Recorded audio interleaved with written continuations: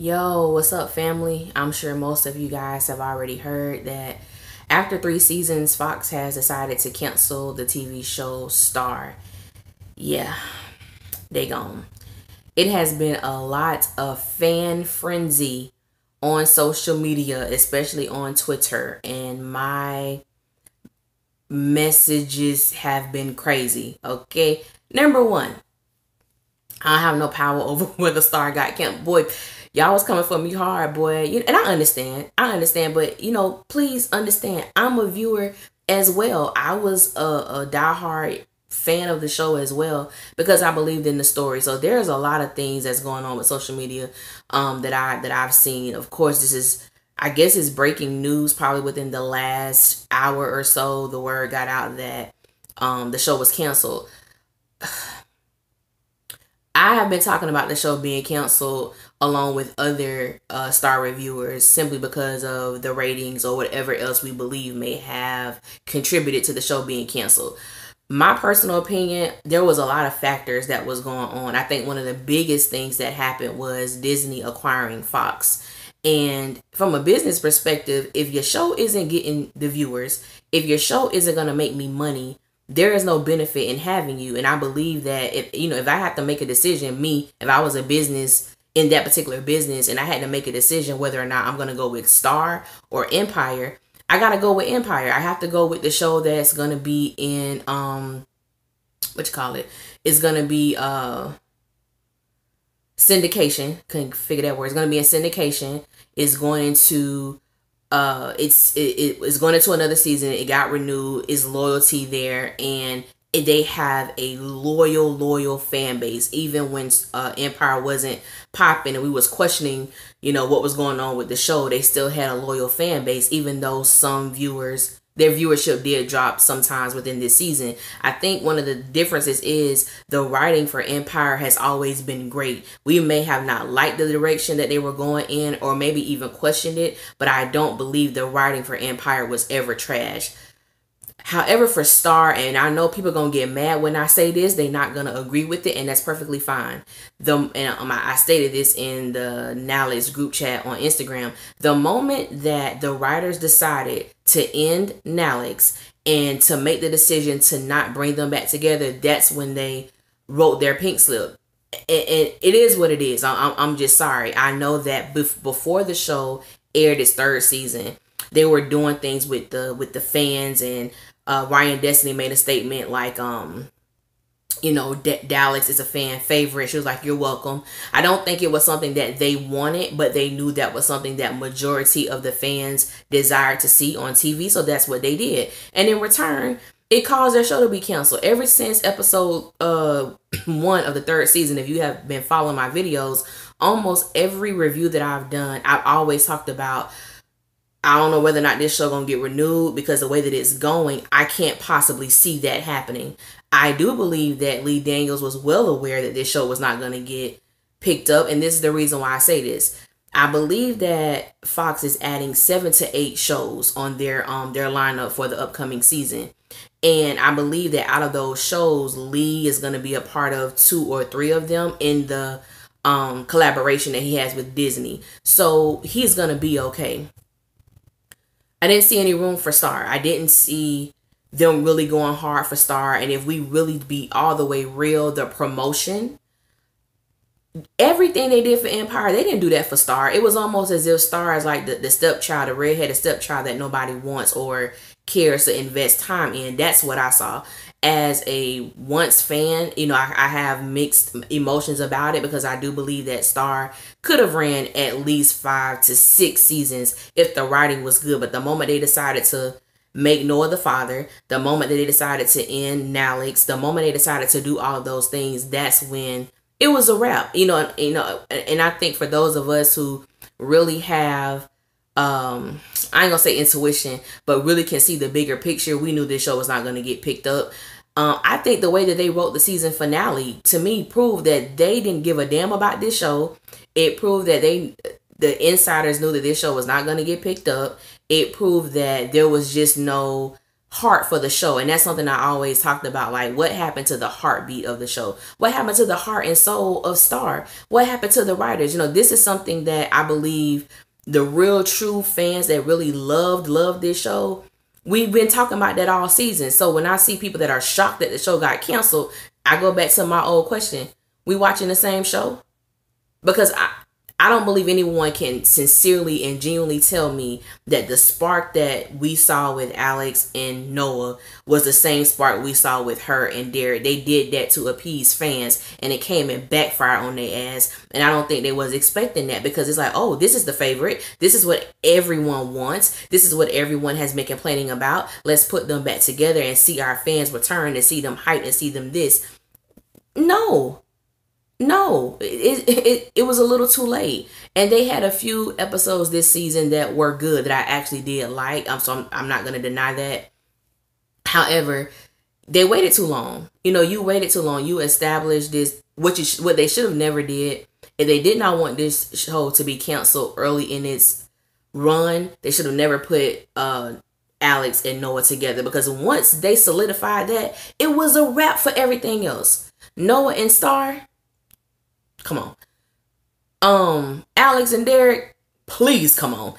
It was just, it wasn't there. And I talked about this, I, I, believe, in the second episode, in the second review that I did for the second episode of this season, that you could tell that there was something something going on behind the scenes with Quincy and Ryan, whatever connection they may have had, whatever offense that may have taken place, it was reflecting in their performance. I don't care what anyone says. You go back and you look at them shows, the timidness, it would seem like it was very uncomfortable. Things were forced. So I'm not shocked that the show got canceled. I'm not. Someone asked me, was I celebrating? I'm not celebrating. It's sad because the just the the the potential that the show had. That's what that's what's really disappointing to me. I am glad that you have the talent on the show that's able to venture out and do more things because i know that star takes a lot of their time and it hinders them from doing other projects so on and so forth. So i am happy that they're going to get an opportunity to experience that. However i am not happy i'm not happy about um just the ending of what could have been something great. So, you know, I you know, I may I may be a little petty in this video. I don't know, but we're gonna see what the Lord say. Um yeah, man, it's just it's just sad. I think some people knew about the direction that the show was going in. Um, just based on the interaction that the cast had with the fans and all of that stuff, I don't think that they were really happy. Some I believe some cast members were. And I believe the other cast members were not happy with the direction on the of the show, but that's their job. And you get paid to act, so you better get out there. And when they yell action, you gotta do what you gotta do. It was just um it was sloppy storylines. It was open-ended storylines. So there were things that they started that they did not complete. There were things that happened that you know you really had to like what what that don't make sense. So a lot of those things happen and it was almost as if we're to present this crap to y'all, be cool with it cuz this was y'all to get. And some people ate it up and some people was happy about it. And you had other people who really, you know, are intelligent beings was like, "Wait a minute. If that happened and this, 2 plus 2 will never equal 5." You know what I'm saying? It's like they kept trying to push 5 on us and it's like, "Nah, bro, this ain't adding up. This just doesn't make any sense." A lot of people were definitely upset by the whole Miss Ruby thing. Why bring this woman back after nine episodes we haven't seen her to bring her back only to take her out like that? That was just it was un, it was just uncalled for. It was just uncalled for for me, Lee being the creator of the show and the the visionary of the show. It was it was poor. It, it just it's almost like I cannot believe the same person that created Empire and has the vision for Empire is the same person for Star. I don't know what the hell happened in season three. I don't know who the writers were. I don't know what their thought process was. I have no idea. You know, you still have people um that's talking about, you know, Jude's pregnancy is what messed up um the show. And I can see why I can see why people are saying that. I don't necessarily agree with it. The writing was just horrible because even after saying that when Jude came back from the second half, she wasn't pregnant. Jude wasn't pregnant. You know what I'm saying? Excuse me, the second half she was the she wasn't pregnant. But I'm like, you know, it got even worse to me the second half. And then they did the whole Nalex thing. They tried to give like little, you know, glimpses of hope. Like maybe there's something still there. Maybe not. But we gonna play around with them to give them a little, you know, reason to keep tuning in. And it just wasn't, you know what I'm saying? And then you had the character Alex, in my personal opinion, degrade herself by asking this man to marry her. That's a whole other topic in itself. But I just think that there is no one to blame but the writers and the people behind the scenes, the creators, the whomever spitting out these storylines. It's them. You know what I'm saying? You know, congratulations to the actors for three seasons um, congratulations for you know doing your job and you know opening up uh, opportunities for yourself and allowing fans you know new people like myself to get an opportunity to know who these amazing talents were the ryan destinies. Of course i already knew Luke James. Um, i did not know who jude was. I did not know who um, brittany was. I didn't know who i didn't know who ryan was either. So it gave me an opportunity to get to see these talents you know consistently on television. And I know that God has great things in store for them. And I'm just happy to see them flourish in that way and not be restricted. It's just sad that um, it came to an end like this, that it ended like this, that we didn't even get a series finale. You know what I'm saying? We got a season finale and it ended with bloodshed like that. So no one got a happy ending at the end of the day. So oh man, it's just sad. Uh, it's just sad. Somebody, um, I'm trying to think about these questions. Somebody, and this is this is fresh, so I don't, I haven't really had a chance to really look at everything that was asked to me.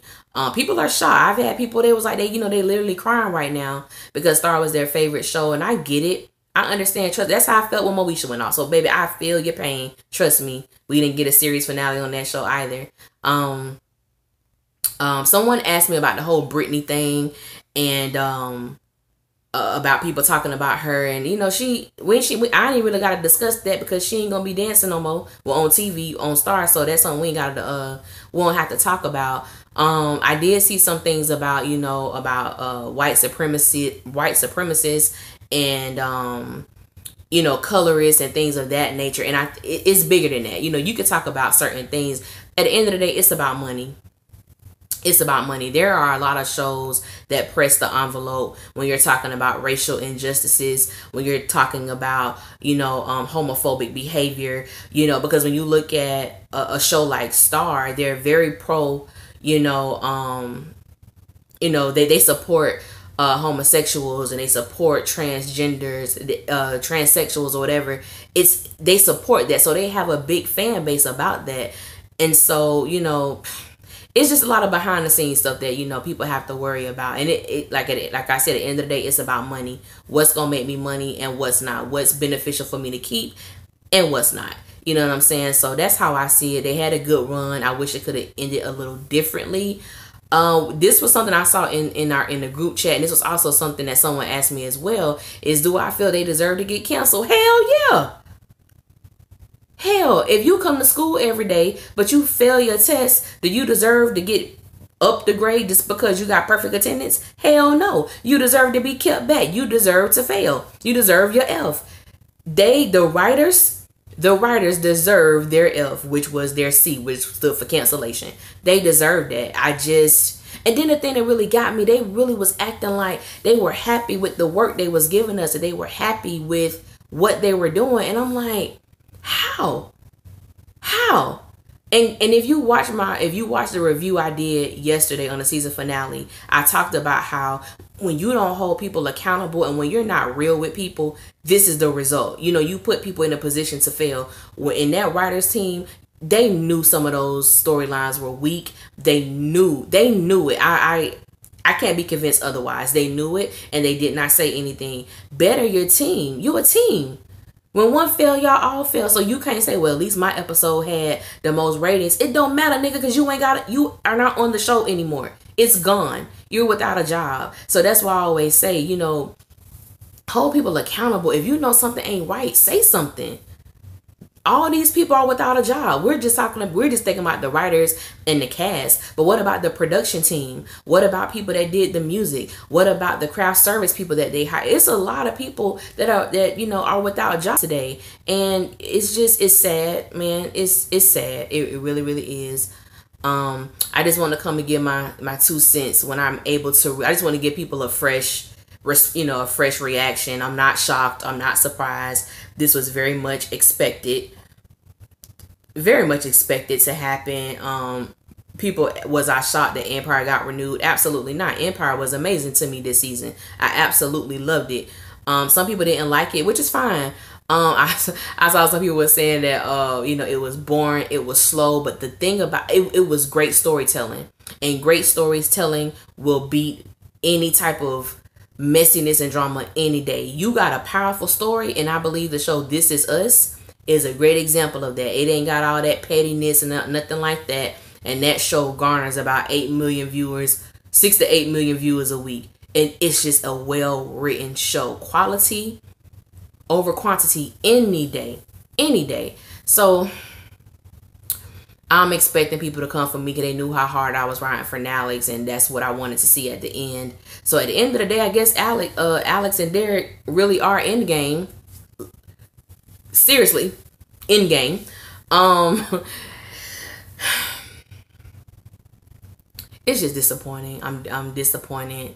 You know, um, because it just could have been so much better. It just really could have been so much better. And I know that Lee and the other people that are affiliated with the show definitely watch. I know they watch reviewer videos, which was amazing to me. Um, and it's crazy the stuff people ask. I had someone send me uh uh the I am Zoe thing because you know he do his commentary, which is hilarious. Okay, and they was like, you know what, he got on the show or whatever, and you do reviews and you ain't got on the you ain't got on the show and stuff like that. And I'm like, well, number one, me and Zoe are two we're two totally different people. Okay, this man has millions of followers. I'm not on that level yet. It just is what it is. He lives in Atlanta. I don't, and he is someone who he's funny. You know what I'm saying? He don't really give a review. He's just funny and and and he comments on he does commentary on the scenes or whatnot and big ups to him because I know that he really is a fan of Star and you know he loved Quincy and all of that good stuff, which is cool and big ups to Zoe and, and all of that. But at, at the end of the day, I know that a lot of my videos, along with other people I know who support Nalex, our videos could be categorized as controversial because we don't we go against the grain you know the majority like dallas. We wasn't we wasn't you know vibing with them like that. So of course you get blocked and you get people trying to come in your inbox and stuff and cuss you out and you know try to drag you on your videos which i'm all for because you open up yourself to receive that type of hate or whatever when you do these things. So that's that's perfectly fine. But I really and I have written I have written Lee I have sent messages to Lee Daniels. I have sent messages to Karen Grizz whatever her name the the show showrunner. I have I have messaged many of people in a very respectful way um just to communicate a concern as a viewer because I already saw what was gonna happen. So it is what it is, you know what I'm saying? Don't let don't lose sleep over this people. It's all right. You're gonna wake up and the sun gonna be shining. And even if it ain't shining, hell, you wake up and see another day. So Star ain't gonna stop your life because it got canceled. Another show will come along that will capture your heart and all that stuff like that. Um, yeah, man. I just want to come to y'all and uh I'll holler at y'all later. One.